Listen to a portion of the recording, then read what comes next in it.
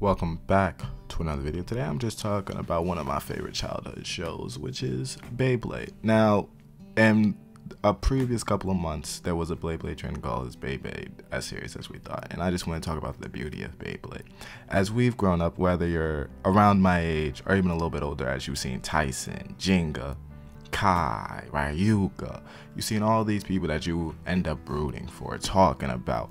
And for the fact that you even buy their Beyblades, try to imitate what you see on screen with the launches, with the with the cadences. You just try to get the best bay to come to school with. With the stadium. Oh my goodness. You cannot tell me as we've watched all the Beyblade, we've watched all the ridiculousness and as we see it kept getting as more ridiculous. For example, why did they why why was there a Beyblade for Moses? What it what happened? Also continuing, there must there was a Beyblade World War One and World War Two. You can't tell me that's just not funny to think about, of course. As well as there's a beauty that comes with it as most of our childhoods envelop in that. We talk about it. We talk about how strong our bay was. I had L I, I don't know if I had the second L-Drago. It was like L-Drago with a special launcher with it with a couple of buttons. And let me tell you, I went around my elementary school flying. I went over to my elementary school flying.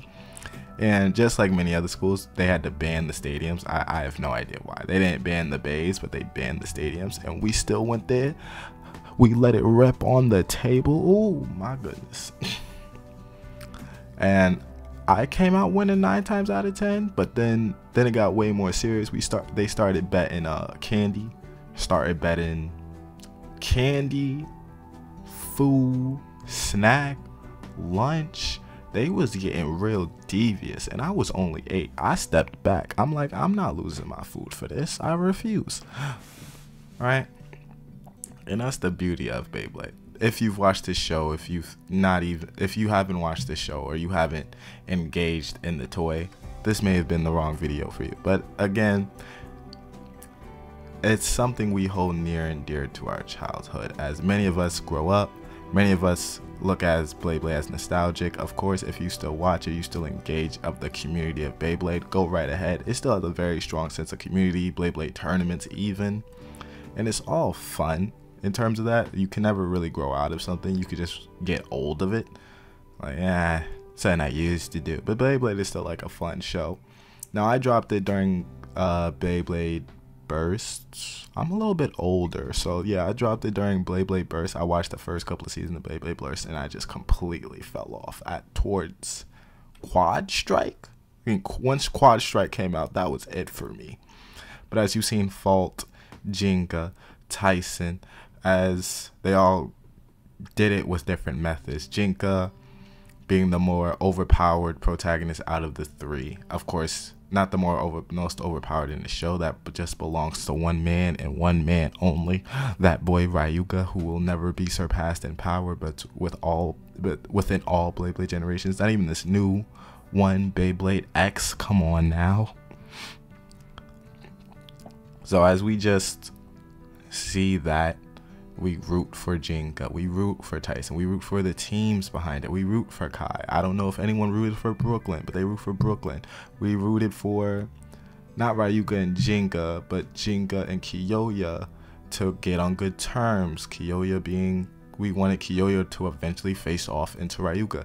Even now, with us having such a strong, you know, with social media, uh, different platforms, able to share more. Like we have Beyblade Dream matches. We wanted to see Ryuga versus not. We want to see Ryuga rematch Gingka for one final time. I would have loved to see that rematch at the end. As I don't know about you.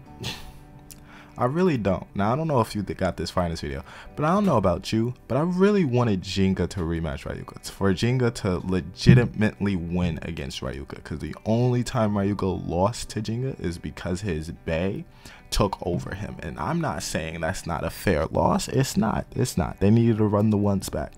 And see Kyoya eventually get into the realm of the of that three because I don't ever I know Kyoya and Gingka are rivals per se, but I just I just don't think Kyoya and Ryuga were rivals. I think Ryu, Ryuga only respected Gingka for anybody else. anybody. We even even though the last season of Beyblade, I don't I think it was called Metal Fury. Even though the last season of my Beyblade, my generation of Beyblade was a little bit shaky, Nemesis a little bit shaky, but his father a little bit shaky. Who else? The star, the star fighting days a little bit shaky, and then the Beyblade multiverse. I'm not. I'm not. I guess I'll do a different video about that because the Beyblade multiverse was wild. That's a different video entirely. Let me tell you about. but but that's the beauty of it. It's something we love to do, love to see. We love to talk. You like to talk about it. Now I don't know if you've gotten this far. Just drop down in your uh, comment section. A, what was your favorite Bay? What was your favorite Beyblader in the anime? What was your favorite? You know, what Bays did you own, and do you still own any Beyblades? Of course, I think I own a couple. I'm not really sure where any of those go. Uh, I, you know, they get lost in all the shuffling in your life. but respectfully to Beyblade, respect, you know, the love, the beauty of it.